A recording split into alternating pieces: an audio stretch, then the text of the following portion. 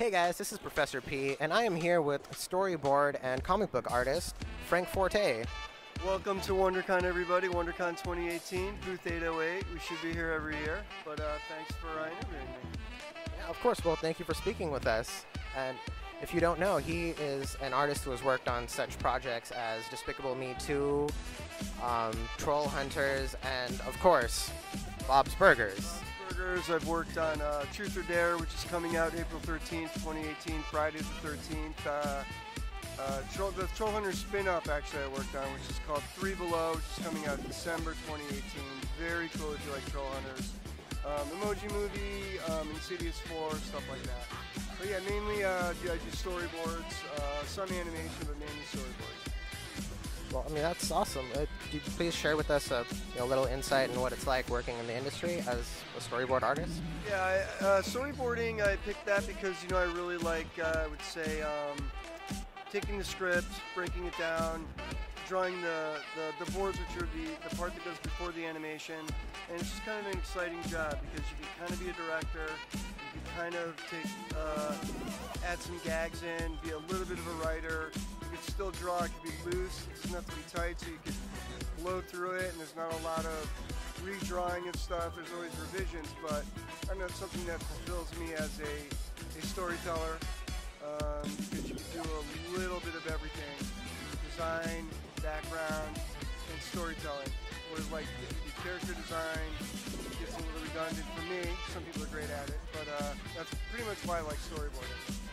Yeah, I mean, awesome. And I'm sure you must have some pretty fun stories to, to share about uh, some projects. Yeah, I mean, uh, working on Three Below was really cool because it was a Guillermo del Toro project, which was really awesome.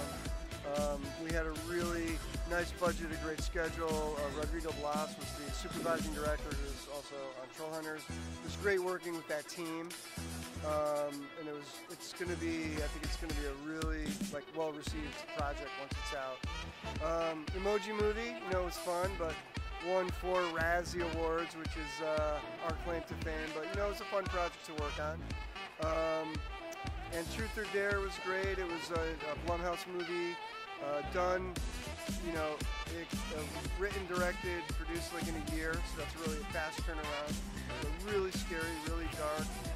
Um, but yeah, I mean, crazy story. It's not like uh, you know being a rock star or being on tour. You're, you're at a desk, you're drawing, so it's it's pretty tame. But yeah, it's a good it's a good job, a good position. If you're an artist, I would suggest looking into it. You have to get your chops up, but uh, yeah, it's a great job.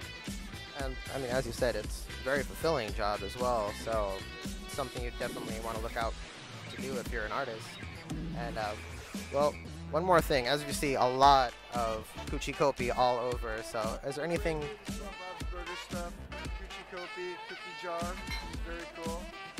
Uh, Kuchi Kopi mug. This just came out from uh, UCC Distributing, also very cool. Brand new Kopi uh, nightlight, which I mean, come on, this is awesome. Louise's best friend. So you know, we carry a, bunch of, a lot of the Bob's Burgers licensed uh, merchandise, which is really cool. Uh, and uh, you know, the mugs, we have the, music album, aside from that, you know, uh, my own artwork I sell. We sell comic books, a bunch of stuff. But WonderCon is fun, so if you can do it, definitely come on down. Next year, today's the last day, but definitely check it out. Just one final thing, if you can please tell uh, our viewers where they can go to, to purchase some of these items. So for myself, my own artwork, which is, you know, some of this kind of stuff, um, you can find that on frankforte.com. Uh, publishing company is asylumpress.com. And I'm pretty active on Instagram, I would say. So it's Frank Forte Art at Instagram, and you can see me doing Bob's Burgers drawings, um, you know, other artwork, stuff that I do. You can find me there. Awesome. And thank you so much again for speaking with us. See you next year, and uh, see you next WonderCon. All right. You heard it here. See you next WonderCon.